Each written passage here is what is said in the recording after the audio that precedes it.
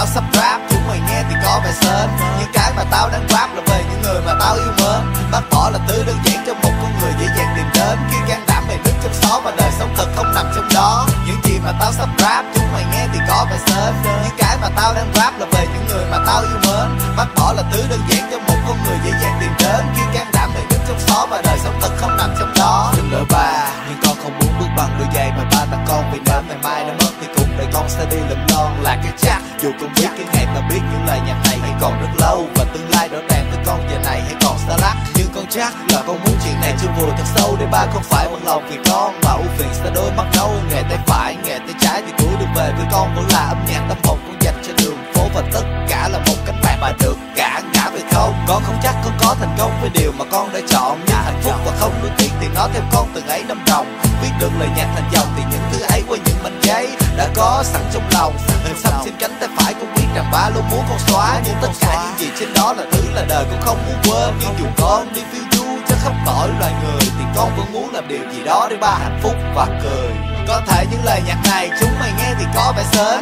Nhưng cái mà tao đang viết là về những người mà tao yêu mến. Bác bỏ là thứ đơn giản cho một con người dễ dàng tìm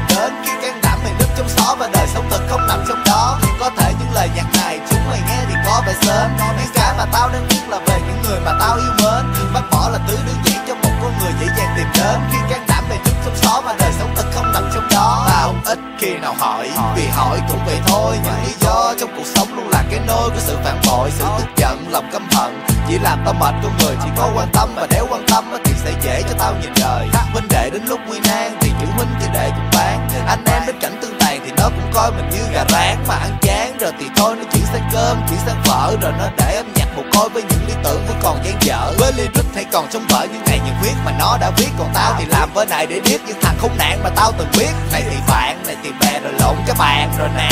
Gặp chân chục thằng nữa chắc thành bán dạo ngoài hè. Tao đã ở đâu khi mày gọi mày cứ nhớ hay là không? Mày đã ở đâu những lúc tao cần hả Vậy là sao? Mày đã ở đâu khi mày gọi mày cứ nhớ hay là không? Mày đã ở đâu khi tao cần hả Vậy là xong, Có thể những lời nhạc này chúng mày nghe thì có vẻ sến. Nhưng cái mà tao đang viết là về những người tao từng yêu mến. Bác bỏ là thứ đơn giản cho một con người dễ dàng tìm đến. Khi can đảm mày đứt trong xó và đời sống thật không nằm trong đó. Có thể những lời nhạc này chúng mày nghe thì có vẻ sến. Nhưng cái mà tao đang viết là về những người tao từng yêu mến. Bác bỏ là thứ đơn giản cho một con người dễ dàng tìm đến. Khi can đảm mày đứt trong xó và đời sống thật không nằm trong đó. Vì sao? Ngoài kia, chúng nó thích đeo mặt nạ.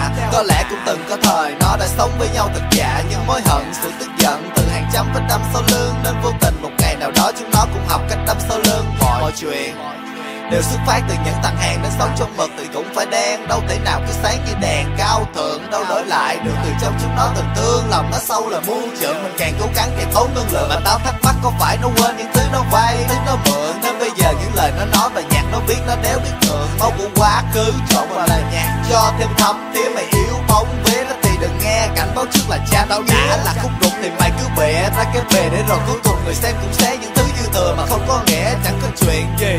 Là không thể biết đâu chỉ có mày đã không biết tao đã biết nó trong bao lâu và đã thấy trước nó trong bao lâu. Những lời nhạc này sẽ còn tiếp tục không có hồi kết vì mọi sự ở trong đời tiếp tục với bài biết bao giờ hết và nếu có ngày tao ngừng thì có lẽ lúc đó tao chết. Nhưng đoạn cuối những bài tự sự này sẽ không có dấu chấm hết. Có thể những lời nhạc này sẽ còn tiếp tục không có hồi kết vì mọi sự ở trong đời tiếp tục với bài biết bao giờ hết và nếu có ngày tao